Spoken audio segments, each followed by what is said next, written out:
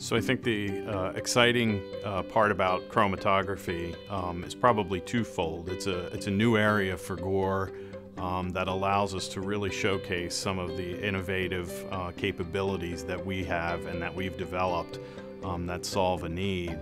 Um, on the flip side, one might say, if it allows scientists to find that next molecule faster, it allows somebody's parent or sibling to be treated, that's pretty exciting to be a part of.